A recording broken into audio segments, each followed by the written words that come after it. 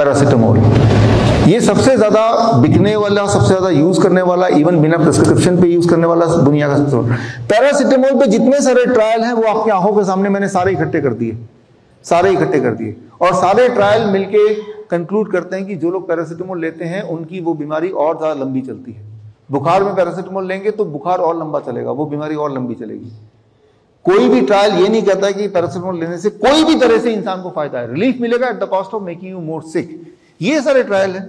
दुनिया में अगर पैरासिटामोल ना होती, ये सारे ट्रायल है तो दुनिया में जो लिवर फेलियर के केसेस आधे रह जाते 50 percent liver failure is because of paracetamol one medicine only इसीलिए पैरासिटामोल को दुनिया का सबसे ज़्यादा डेंजरस दवाई का खिताब मिला हुआ है। ये रहा खिताब राइट तो जो सबसे डेंजरस है याद रखिए, जब आपको बुखार हो, हम यहाँ क्या करते हैं? बुखार कोई बीमारी नहीं है। बुखार, जब आपके बॉडी का टेम्परेचर ज़्यादा होता है, उस वक्त जो वायरस एंड बैक्टीरिया है, वो इनफेक्टिव हो जाते हैं। Virus bacteria they can not multiply right जिस तरह से अगर कोई हाथी है, कोई बहुत बड़ा जानवर है, वो कितना ही बड़ा जानवर हो, अगर उसके नाक बंद कर दो, क्या वो ज़िंदा रह पाएगा? Without oxygen no animal can be alive similarly high temperature पे कोई भी बैक्टीरिया वायरस ज़िंदा नहीं रह सकता। तो बॉडी को ये पता है बॉडी ने टेम्परेचर हाई कर दिया। आपने क्या किया? पैरासिटामोल से कम कर दिया। तो जो गार्बेज बॉडी में बन रहा है, और बन रहा है रिप्लीकेट कर रहा है। हम क्या करते हैं हमारे हॉस्पिटल में? इस दौरान अगर आपको बुखार आ जाए या आया हो, जो लोग आईपीडी के पेशेंट आप में से हैं तो हम बुखार को बढ़ा देते हैं। क्योंकि हम कैसे बुखार को बढ़ाते हैं? कि ऐसे पेशेंट को जैसे आप बैठे हैं बाल्टी में 42 degree Celsius remember the number 42 degree Celsius पानी, बाल्टी, वो उतना गर्म पानी लेके उनके सामने बाल्टी और वो जैसे आप बैठे, दोनों पैर बकेट के अंदर। तो एक तो पहले से फीवर है 102 103 डिग्री फेरनाइट और हमने और फीवर को बढ़ा दिया, आधा डिग्री, एक डिग्री। आधे घंटे तक इतना टेम्परेचर जब मेंटेन करते हैं तो बॉडी का हीट और बढ़ जाता है बॉडी से पसीने लगते हैं। आधे घंटे के बाद जब बकेट हटाते हैं, उसके 15-20 मिनट बाद जो टेम्परेचर था, एकदम ड्रॉप करता है। नॉर्मल हो जाता है पेशेंट फिट हो गया।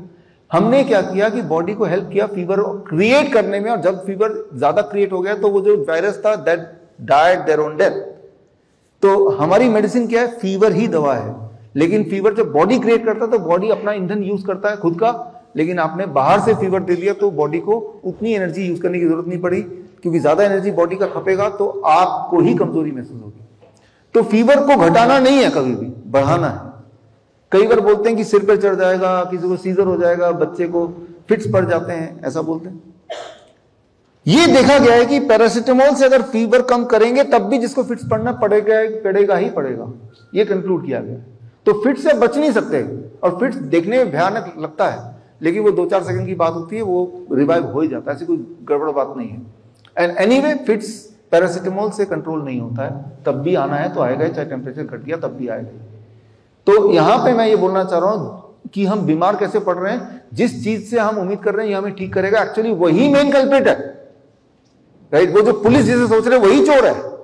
ये बात हमें समझना पड़ेगा, दुनिया के सारे एविडेंसेस आपकी आँखों के सामने हैं। जब भी कोई डॉक्टर आपको प्रेस्क्राइब करता है, उसको अगर पूछेंगे कि एविडेंस क्या है कि इससे मेरी जो बीमारी है, जल्दी खत्म हो जाएगी, मेरा जो इन्फेक्शन जल्दी खत्म हो जाएगा देर इज़ नो एविडेंस हाँ उस वक्त रिलीफ मिल जाएगा at the cost of making you more ill तो हमें क्या करना है? इससे मतलब गार्बेज आउट कि यहाँ से सारे गंदगी कलेक्ट किया, उठा के इस एक्वेरियम से बाहर फेंक दिया फ़िश की इम्यूनिटी उसको अपने आप ही ठीक कर देगी जब यहाँ पे नरिशमेंट मिल जाएगा। है कि नहीं? बॉडी के साथ भी इस हॉस्पिटल में हम यही करते आए हैं। कैसे करते आए हैं? आपके साथ कैसे करने वाले हैं? अब इस पे बात करते हैं।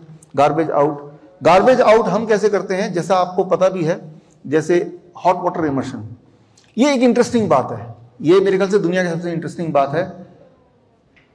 आप जब यहाँ देख रहे हैं, पानी में बैठे हैं, अभी पानी में हम लोग नहीं बैठे हैं। तो हमारे सिर के ऊपर कितना प्रेशर है? वन एटमोस्फेरिक प्रेशर यहाँ से लेकर जितना दूर तक आसमान है, उतनी दूर तक आसमान की हवा हमारे सिर के ऊपर है, इसे बोलते हैं वन एटमोस्फेरिक प्रेशर राइट लेकिन हर बार हमेशा इसके अंदर रहते हैं फील नहीं करते वो प्रेशर लेकिन जो लोग पानी के अंदर बैठे हैं, जो लोग आप में से, उनके बॉडी में वन एटमोस्फेरिक प्रेशर सिर्फ़ इतना तक है। और इससे नीचे जो प्रेशर है one atmospheric plus the pressure of the water that is two percent of additional pressure जब ये प्रेशर डिफरेंस होता है बॉडी में अलोंग विद दैट जब हीट आता है तो your skin become the third kidney तो स्किन के अंदर जो टॉक्सिन बॉडी में जमा है, चाहे वो क्रिटनिन है, चाहे वो शुगर है, चाहे वो पोटेशियम है या सोडियम है कैल्शियम है वी डोंट नो जो भी ज़्यादा एक्सेस होगा, वो बॉडी से बाहर निकलने लगेगा. यानी कि गार्बेज आउट भगवान ने हमें तीन किडनी दी है। तीसरा किडनी बहुत बड़ा है that is skin the biggest organ लेकिन वो किडनी की तरह कैसे काम करेगा? जब वो उसको एक एनवायरमेंट मिलेगा that is heat and pressure एक इंटरेस्टिंग बात याद रखिए कि जैसे जैसे पानी के अंदर हम जाते हैं, इंसान का बॉडी जाने लगता है वैसे वैसे एटमॉस्फेरिक प्रेशर के साथ पानी का प्रेशर जुड़ता जाता है। अगर किसी इंसान को ऑक्सीजन सिलेंडर के साथ ही सही 500 मीटर नीचे ले जाएँ 500 मीटर नीचे। तो इतना ज़्यादा पानी का प्रेशर होता है कि इंसान का लंग काम करना बंद कर देगा, इंसान वही मर जाएगा। किसी भी इंसान को मारने के लिए उसके पानी का प्रेशर कितना? 500 मीटर, आधा किलोमीटर। लेकिन अगर 500 मीटर की जगह 500 मिलीमीटर हो 500 मिलीमीटर मतलब इतना। इतने पानी के गहराई में ये क्योर का काम करता है हीलिंग का काम करता है, लेकिन जो 500 मीटर की गहराई में वो बॉडी के अंदर सब कुछ खत्म कर देता है। तो वाटर का जो प्रेशर है, वो एक टूल होता है, हो सकता है आपके बॉडी के अंदर की चीज़ को बाहर लेने में। लेकिन वो प्रेशर कितना चाहिए? ये इंपॉर्टेंट है जो यहाँ आप सीख रहे हैं, वो प्रेशर कितना चाहिए? वो हीट एंड प्रेशर जब फीवर हो तो वो पानी का प्रेशर एंड हीट सिर्फ़ इतने पोर्शन के लिए चाहिए। जब भी किसी का ब्लड प्रेशर हाई हो जाता है, हमारे हॉस्पिटल में या हमारे हेल्पलाइन नंबर में जब कोई फ़ोन करता है कि ब्लड प्रेशर हाई हो गया हम उस ब्लड प्रेशर को हाई मानते हैं जो ब्लड प्रेशर नॉर्मली उसका नहीं रहता है। मेरी वाइफ का ब्लड प्रेशर हमेशा सौ बटे साठ रहता है hundred by sixty that is her normal किसी दिन उसका अगर वन ट्वेंटी बाई एट्टी है, अरे बाप रे हाई ब्लड प्रेशर तभी इस तरह का बिहेवियर है। राइट तो फिर क्या करना है? इमीडिएटली वो पानी गर्म किया, उसके अंदर पैर रख दिया, और जैसे ही पैर पानी में है, पानी गर्म है 42 degree Celsius blood pressure body के पैरों के डायलेट होने लगे। ब्लड वेसल जब बढ़ेंगे तो ब्लड प्रेशर घटेगा। आधे घंटे बाद चेक किया और ब्लड प्रेशर चेक करने की ज़रूरत नहीं। बिहेवियर से पता चल गया, सब कुछ ठीक ही लग रहा है। तो जो चीज़ हम किसी और पे करना चाहते हैं, अगर आपको कभी गुस्सा आ रहा है, आपको कभी चिंता हो रही है, आपको कभी स्ट्रेस हो रहा है, आपका बीबी बढ़ गया है, आप खुद पे जब करेंगे तो देखेंगे, अरे, कि क्योंकि आपका जो फ़िज़िकल है, वो मेंटल से जुड़ा हुआ है। राइट तो ये हमें समझना है कि पानी जो है वो हीलिंग इफ़ेक्ट दे सकती है। पानी का प्रेशर एंड हीट दोनों चीज़। पानी इटसेल्फ नहीं। प्रेशर एंड हीट की बात कर रहा हूँ। हम में से कई कुछ पेशेंट आते हैं जिनके पिस्टूला लगा रहता है पेट से राइट डायलिसिस की वजह से। तो उनको हम पानी में नहीं बिठा सकते इन्फेक्शन हो सकता है। तो उनको पहले हम रेनकोट पहनाए जाते हैं। ड्राई सूट बोलते हैं इसको। तो अब जब वो पानी में बैठेंगे तो स्किन को पानी टच नहीं कर रही है। लेकिन पानी का प्रेशर और पानी का हीट उसके बॉडी में जा रहा है। तो मैं ये समझाना चाह रहा हूँ, ये पानी की वजह से नहीं ठीक हो रहे हैं या जो भी है। पानी का जो प्रेशर आपको मिल रहा है और जो हीट मिल रहा है heat and pressure these become the medicine इसे कहते हैं ग्रेविटेशनल रेजिस्टेंस अभी भी दो एनर्जी दो फोर्स काम कर रही है। ग्रेविटी मेरे ब्लड को नीचे खींच रही है हार्ट मेरे ब्लड को ऊपर खींच रहा है। ये जो बैलेंस है, उससे मैं ज़िंदा हूँ राइट कभी आपने देखा, कोई इंसान ऐसे बैठा हुआ है लेटा हुआ है, एक झटके से उठेंगे एकदम गिर जाते हैं, मर जाते हैं, गिर जाते हैं, है ना?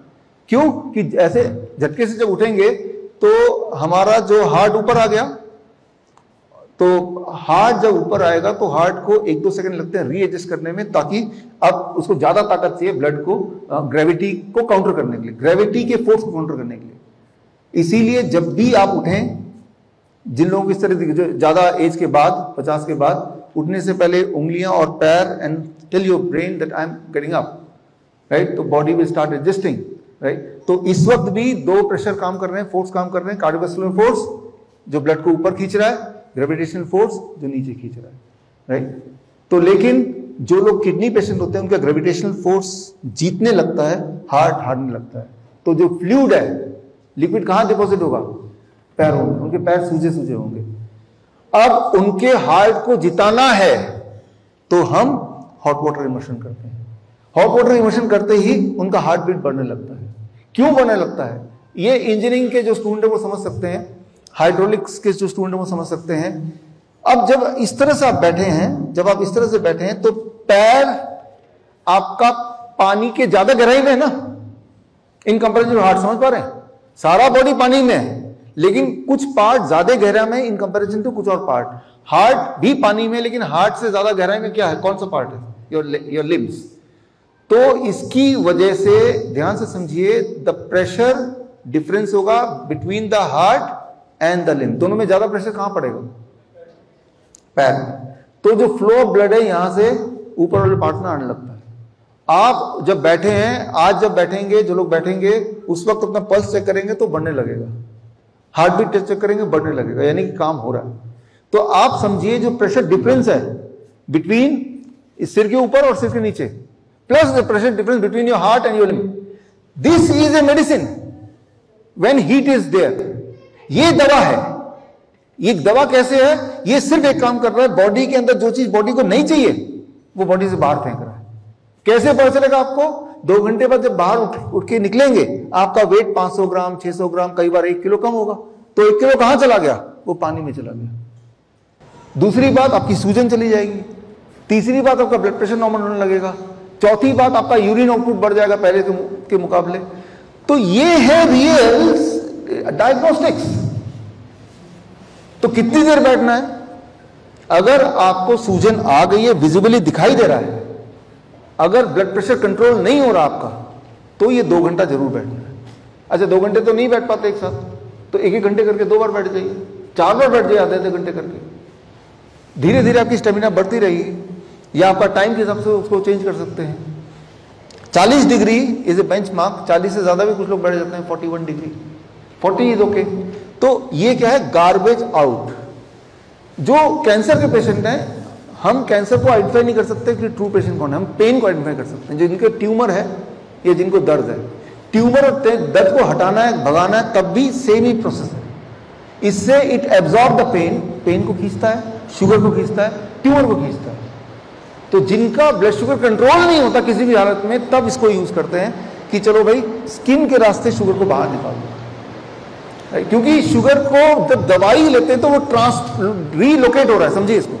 लेकिन इससे रीलोकेट नहीं हो रहा बॉडी से बाहर आ गया राइट आज तो बॉडी से बाहर निकाल दिया। कल क्या करेंगे, परसों क्या करेंगे? इस तरह का शुगर दोबारा बॉडी के अंदर जाए ना, ऐसा कौन सा शुगर होता है जो रिफाइंड शुगर होता है, वही बॉडी में गड़बड़ करता है। वो हम दे नहीं रहे आपको। मीठे से कोई दिक्कत नहीं है आपको। आम खाइए, अंगूर खाइए, चीकू खाइए, खजूर खाइए, गन्ना खाइए। गन्ने का जूस पी सकते हैं क्या? कई लोग पूछेंगे। गन्ने का जूस पी सकते हैं, लेकिन पीने में उतना टाइम लगाइएगा जितना टाइम लगता अगर गन्ना चबा चबा खाते तो। भगवान ने गन्ने को इस तरह बनाया है कि इतना लंबा गन्ना, एक गिलास जितना जूस है, उतना पेट में जाएगा आधे घंटे में ड्रॉप बाई ड्रॉप भगवान को शायद नहीं पता था कि आप एक मशीन बना देंगे, वो मशीन आपके दांत की तरह वो जूस निकाल देगी, दांत तक आप छोड़ देंगे और आप पी जाएँगे राइट तो गन्ना जो डिजाइंड बाय द नेचर समझिए उसको।